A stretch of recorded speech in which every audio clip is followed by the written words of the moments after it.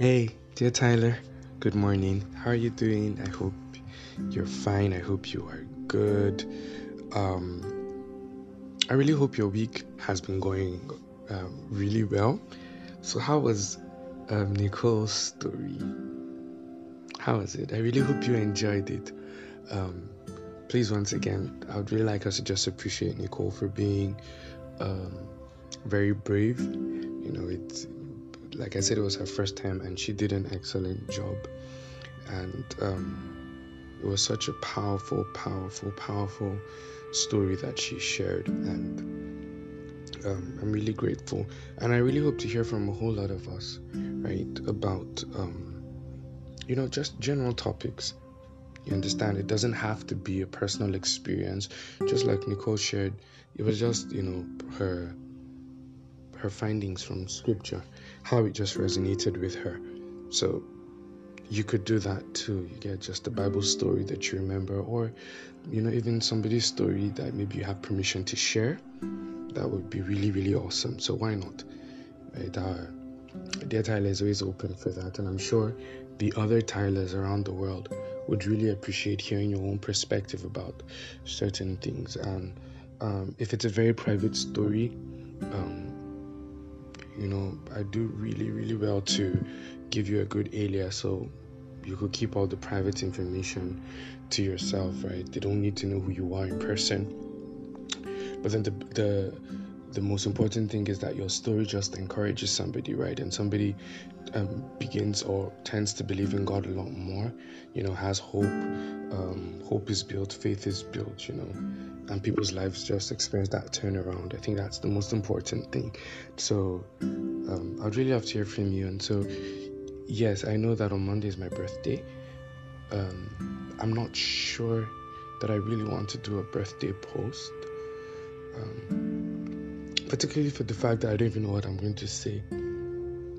So maybe I'll just, you know, leave it all out for anyone that just wants to share something. Um, but I'm still thinking about it. So once I figure it out, right?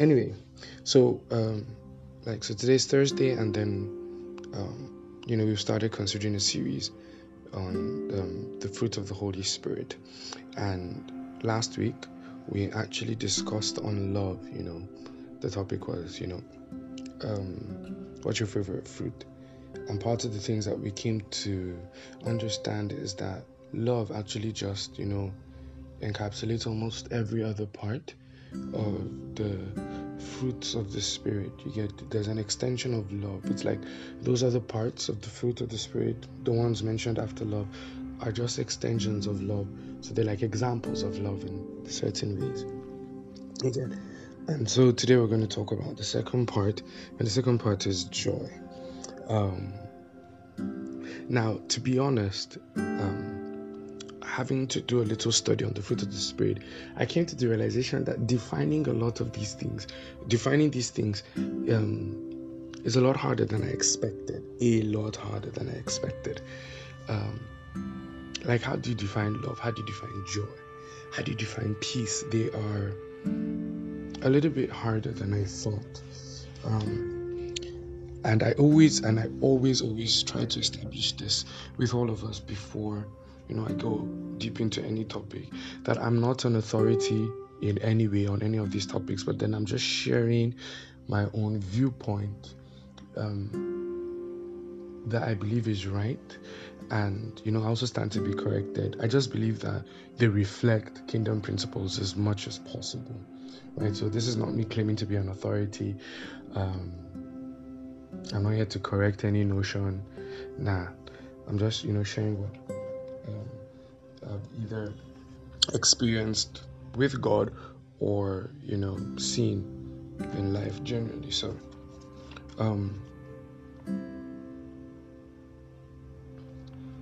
I think I established you know last week, and I was like, um, we must know that the fruit of the Spirit is beyond what God demands of us, but what He works in us.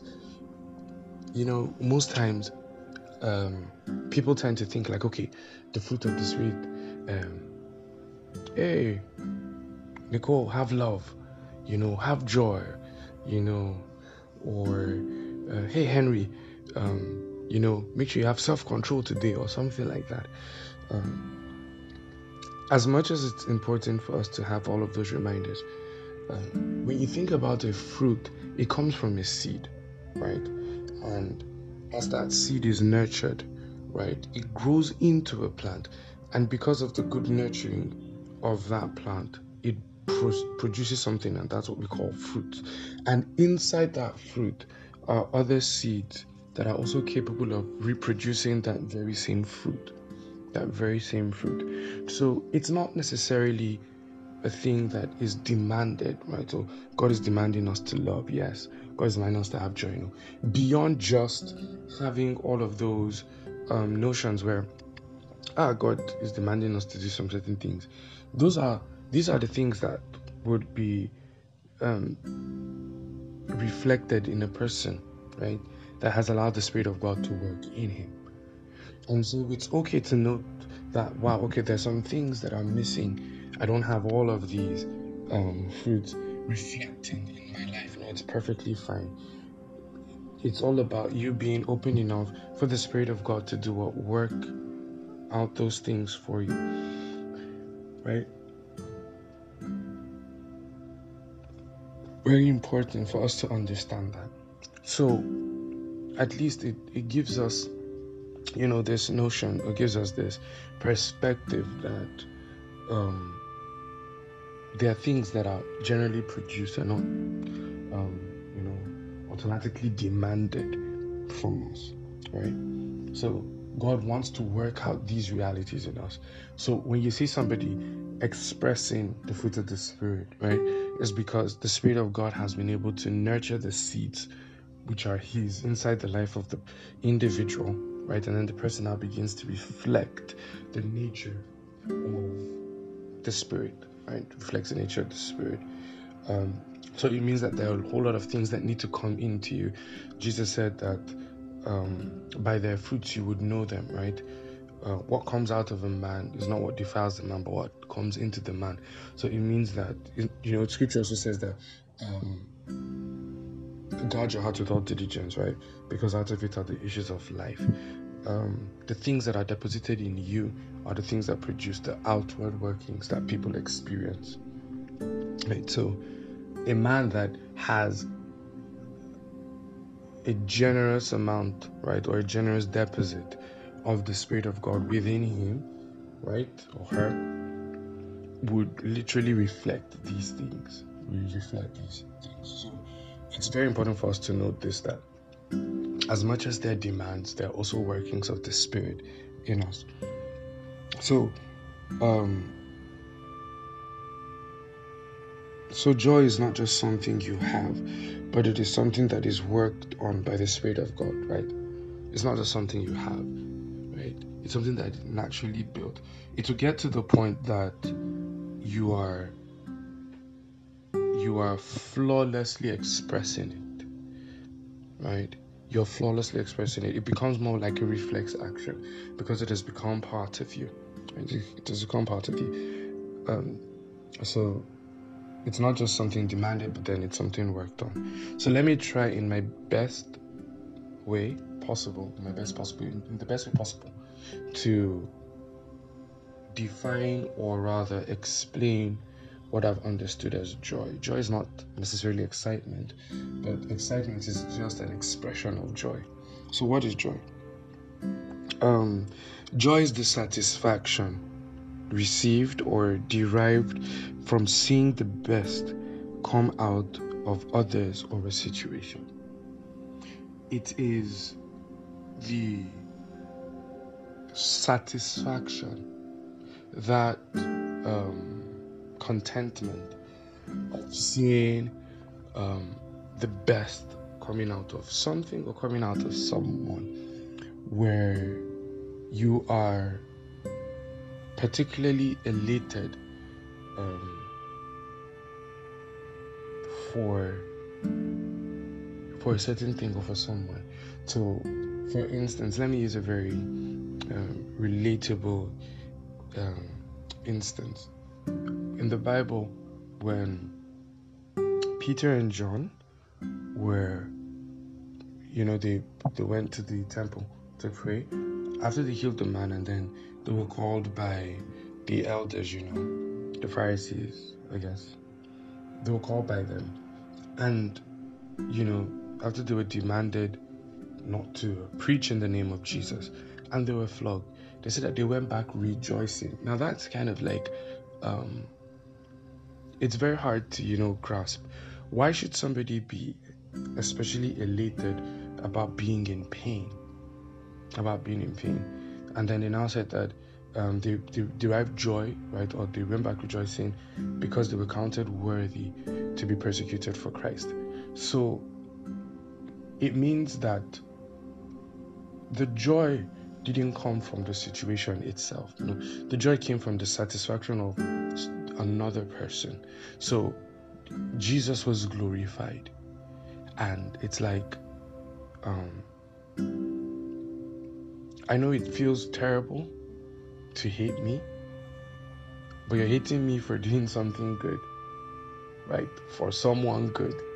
It's like, man, you know, there's this saying that says, um, I think I, I, I remember it in Coming to America, where the, the funny pastor was talking after that beauty contest, that beauty contest and all. He was like, um, and if loving you is wrong, I don't want to be right, or something like that, right? So, um, it's almost in that sense, like if doing good is perceived as wrong, like I'm going to keep on doing it to get my joy comes from the fact that I've done good. I wasn't persecuted or punished for doing anything necessarily wrong.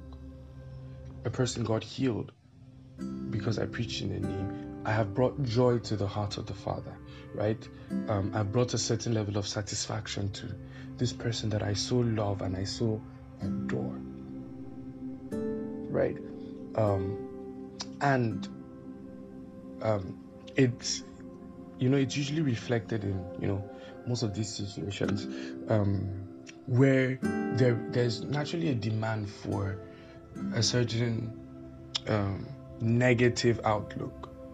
But then you see beyond it. You're looking beyond the situation and you're like um, this person is going to receive something out of it. So you see people like paul um, knowing that going to Rome was going to probably take his life, but he was overjoyed with that fact, knowing that he going to Rome, um, he going to Rome, him going to Rome, him,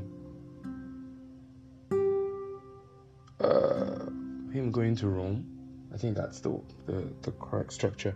Um, that him going to Rome would be an opportunity for the gospel to be preached to other people, so other people get into um, that same beautiful experience of salvation and he could not actually preach to government officials you know get to talk to caesar about it. He was more concerned about the heart of the person right um, that he was pleasing and the probable outcome the salvation of other people.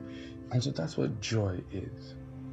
Now when you understand joy from that perspective it's easier for you to allow the Spirit of God work it in you, even if the circumstances surrounding it are not um, pleasing. You know, they're not favorable for you. Um, joy has a way of looking um, at a bigger picture, something bigger.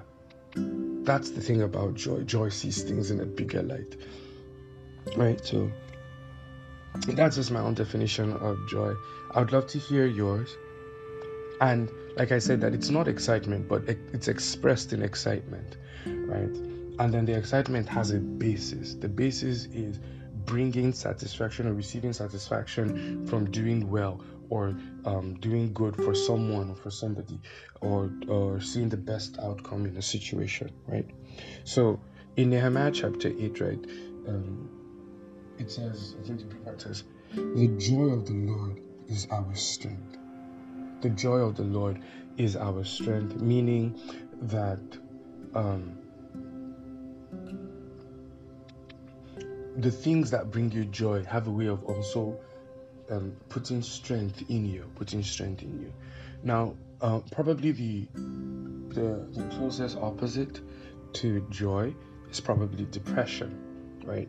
And if if you could, you know, bring out the characteristics between joy and depression, you could, you know, or if you could pick out the the points about depression to be easy to understand um, what joy is, right? So the characteristics of depression it keeps you silent, it, it keeps you in a state of hopelessness right?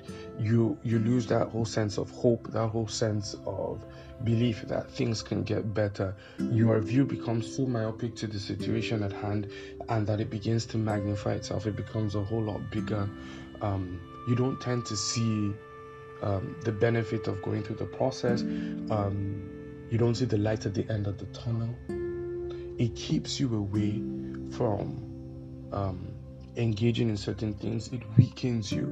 Depressed people tend to um, be devoid of strength. Be devoid of strength. Um, so, if at any point in time as a believer we find out that we are losing strength, right? It's probable. It's probably because um, we have stopped bringing joy to the heart of the Father right? To the heart of the Father. The things that bring joy and satisfaction to the heart of the Father are the things that fuel strength for us to keep on doing it. So think about it. When you do something good for someone and the person shows that certain level of appreciation, or even if the person doesn't show that level of appreciation, but then you see the benefit of your action for the person, you see it literally working out for the person. For instance, you find somebody um, that is not able to cater for themselves in school, and then you're able to help them, you know, um, maybe God used you to supply a specific need, and you see that the person is beginning to grow in school and in their career, the person cannot tell you thank you. The person is absolutely unaware that you are the person that you're the individual that did it, right? But then that um, that joy that you see, seeing maybe the person wearing the school uniform or going to class, being able to buy the handouts, you know, writing tests or you know, sharing a testimony, right? It fuels you to do more. It strengthens you to do more. Every time when you face disappointment, it has a ripple effect in weakening your passion for more. It weakens every zeal in you, right? So, this is what joy does joy is a strengthener. Joy is a strengthener for us. When you feel weak, think about the things that would build joy or bring joy in you because the resultant effect of that joy is strengthening for you. It's strengthening for you. Um, the enemy would always want to steal your joy, right? There's part of scripture that says, With joy, we will draw from the wells of salvation. So it means that, like Apostle um, Selman always says, he says that joy is like a fetcher. It's with joy that you're able to bring out certain things, right? Like I said, when you think about like depression, when a man or an individual is depressed, right? Any individual is depressed, that person tends not to speak. The person tends not to hope again, right? But then somebody with joy seems to be, you know, I think the, the closest term to it is being optimistic, right? So the person is very optimistic, um, and you know tries again, you know pushes on, pushes on, pushes on. The a, a joyful person always finds a reason to continue. So joy builds strength, joy builds faith, right? Um, and then joy itself brings healing. Um, the Bible says, "A merry heart doeth good," right? Like medicine, but um, but a downcast spirit, right, is weariness to the bones. So naturally depressed people tend to be very, very susceptible to sickness. Um, even if they're not sick, they just read that their immune system just gives up on them. Do you understand? So um, your joy is a your joy is a source of healing, a source of healing. Um, whenever you maybe you've been around people that are, you know, battling a certain sickness and all. Part of the things that they always say is that they don't want that whole pity party around them. They're like, oh no, please don't come and say, oh yeah, can you imagine um, what the person's going through? Sometimes when the, the, the strongest moments in their lives are when they are in their joyful state, right? So when you come over, you're excited, you're not letting them know how dire their situation is. I've been around people that have had um, quite um, depressing sicknesses, right? And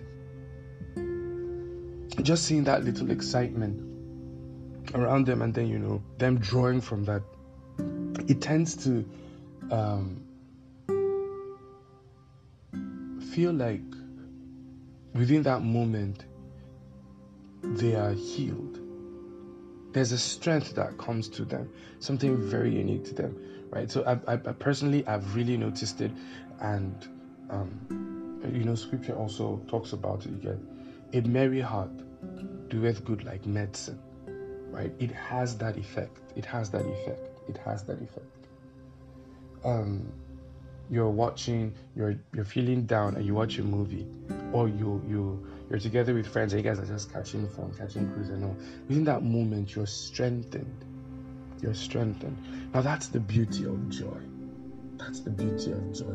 Now these are the workings of the Holy Spirit in our lives, right? This is what the Holy Spirit Himself produces. He brings us to the point where, um, irrespective of the situation that we are facing, whether it be good or be bad, whether if it be whether if it be something that um, tends to weaken us into a point, right? He brings us to the point where um, we tend to um, see life in a different perspective right? Now, one of the major, major um, foundations of joy is this word called contentment, right? Godliness with contentment is a great thing. Is future. This thing called contentment. I may not have all that I need or all that I desire, but I have a certain amount. I have certain things are going well for me, right? So remember, I think in the conclusion of Nicole's story, right, the amnesia story, I said, because our vision is very, very limited, right, whatever we stare at is what gets magnified. So instead of seeing like okay oh i don't have this i don't have this but you tend to see oh god has given me this god has given me this god has given me this and you make it an obsession before you right and you're like lord i know i don't have everything that i desire but you've given me this you've given me this it's a fuel for joy, contentment.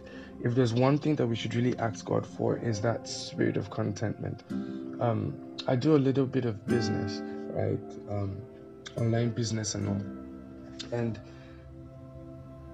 there are there are times where um, where my profit is really going up, and I'm excited, and something tells me, "Young guys, stop." And I'm like, no, we can go further. And then all of a sudden it begins to drop, and then I have to lose out more than I could have actually gotten, right? And at that point, I'm like, you know, if you had just been content with what you had gotten, right, um, you would have had a lot more joy. Now, because of you know certain desires of more, more, more, more, more, I couldn't see what God was doing at that time because I wanted so much more. I ended up um, losing even more than God had given me. You get so um, that's just an example. Maybe not the best of examples, but I believe it it does um, echo in some way, right? It brings to light. So um, so joy doesn't deny the presence of issues, but it focuses on the goodness of God. That's just the truth. Joy doesn't deny that ah there's a problem. Joy doesn't deny that ah there's an issue or there's a challenge now. So when you see people that have mastered the art of joy, it's not people they're not people that have everything going on well for them. No, beyond that, they have just um, developed the um, that light or that character of seeing God in everything of seeing God in everything.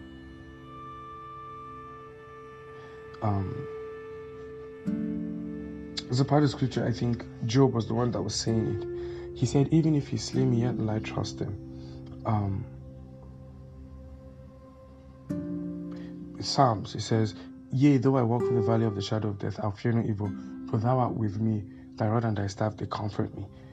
Um, David was saying in the Psalms that, like, I am in the darkest of nights, but I see you.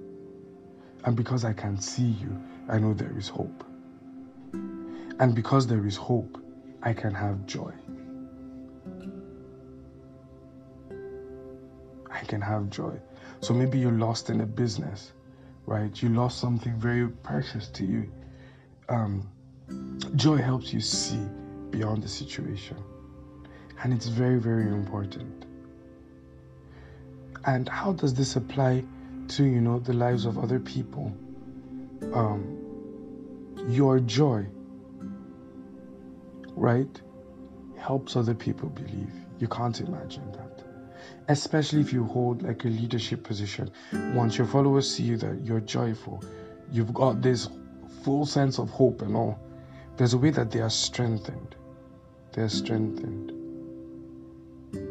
A child would always be weak when they see their parents in weakness. There's just something that a merry heart does to us, right? So, um, what are the things that we need to learn, Tyla? That joy has nothing to do with the situations we're facing, but the perspective that we see, the perspective that we decide to hold and to cherish. That's where joy truly lies, right? Um, that joy builds strength, joy builds faith, joy builds hope, and joy helps us draw other aspects of life from the realm of the spirit, right? It's our fetcher, it's our tool. And that contentment, contentment is a precious, precious, precious um, character trait that we contentment. You know, I'm not there yet, but God is faithful. Contentment. Contentment. Contentment will be like, okay, yeah, we've not hit the target, but we're making progress. And wow, to your subordinates or your team members, people that you're working, man, we're doing really good. We're doing really good. I know we keep the perspective of, yeah, there's a target we're going to reach, but man, we're awesome. We're doing really, really good. I'm content with where we are, but let's keep on pushing ourselves forward, right? So it's very, very important. Um, you know, take out time with God and be like, okay, especially if you notice that you're like the oscillatory kind of person, you've got this pendulum kind of movement. Today you're happy, tomorrow you're not. Today you've got this whole joy figured out, tomorrow it's you're battling depression. You know, take out time and pray before the Lord and be like, Father God, I really desire this expression of joy, something beyond um, beyond my feelings and beyond my emotion. Let it come from my satisfaction in you as a person in my satisfaction in what you are doing in me and through me. Satisfaction that uh, is derived from the benefit that will come into the other person's lives, in the other person's life. That as I do all these things, right? Um, so yes, so that's my my little um, expression, my little discussion of the whole joy concept, and I really hope that um, it uh, has been able to shed a certain level of light um, for us, right? So I'd love to, you know, hear your feedback. It's always important to me. Um, yeah, and then you know, like I said at the beginning, do well to share your stories. Um, there are stories I'm sure that I would really love to hear. So do well to share your stories. So do have a lovely day, Tyla. Remember that I love you, I believe in you, and I'm always rooting for you. Bye.